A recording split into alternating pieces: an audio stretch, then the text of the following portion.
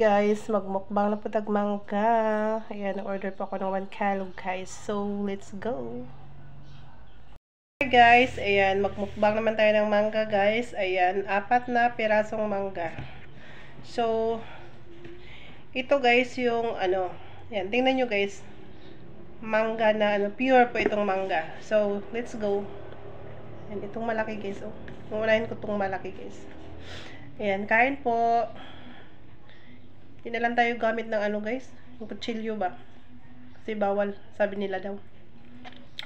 Bawal ito pag may matutulis na gamit, ipakita. O di ba? Ano bang totoo talaga? Madami namang gumagamit ng mga ganyang ano hmm, kain.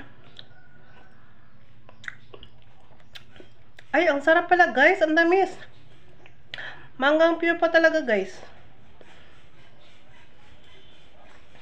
Ayan. Ang tamis guys. Ang sarap. Kain mga guys. Medyo matagal na ako guys. Hindi po nakakain nito. Kaya nag-order pa ako ng isang kilo. Mm.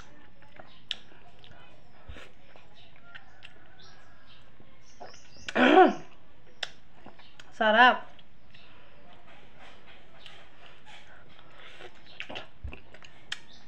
Ayan guys, habang buhay tayo guys, kain tayo pag mayroon. Kung wala, edi wala. Di ba? Hmm. Ikain na lang natin guys yung ano.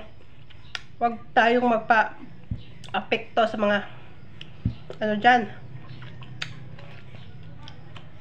Para mabusog. Mmm. Sarap. Tamis talaga guys. Mata ang tamis. Pure talaga ang mangga guys. Oh.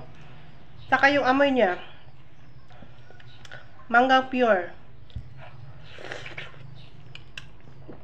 Sa inyo guys, magkano bang kilo dyan? Dire 50 pesos. 50 pesos guys. Apat na palaso. Pero malaki siya guys. So in fairness, mm, ano nyo. Malaki siya. Sakto ang laki niya guys. Kaya hindi tayo logo sa 50 pesos, apat na piraso.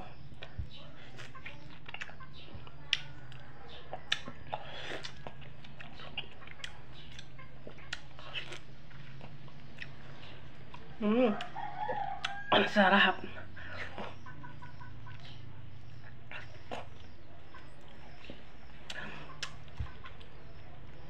Matagal na akong hindi nakakain nito, guys. Mm. Kahit sa isang buwan, guys. Hindi pa nga makakain, guys. Isang buwan, eh.